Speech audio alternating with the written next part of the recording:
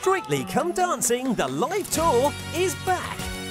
Starring Frankie Bridge, Thom Evans, Caroline Flack, Alison Hammond, Scott Mills, Simon Webbe, Mark Wright, and hosted by Zoe Ball.